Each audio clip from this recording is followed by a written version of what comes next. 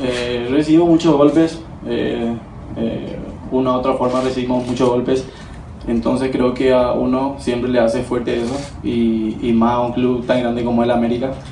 Así que la verdad que nosotros vamos a tratar de, de hacer lo mejor el domingo. Eh, estamos golpeados y, y ya no queremos ser golpeados, así que eh, vamos a dar todo de nosotros el domingo.